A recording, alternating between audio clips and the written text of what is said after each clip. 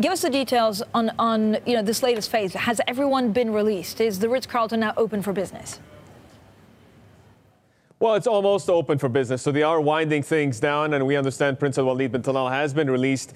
There's still a lot of uncertainties and questions that remain unanswered, specifically what kind of agreement has been reached with the wealthy and influential prince. Uh, we understand that he does get to retain control in Kingdom Holding, which is why we're seeing the stock soar as much as it did. But it's not the kind of transparency that investors are going to be hoping for, and that is that cloud that still casts a shadow over the outlook for Saudi Arabia. Many see the anti corruption probe as more of a political consolidation play, and for that to be clarified, what needed to happen is more transparency. But the fact that it is coming to an end in some shape or form is seen as a net positive. MUFG as well, making that clear in its latest research note.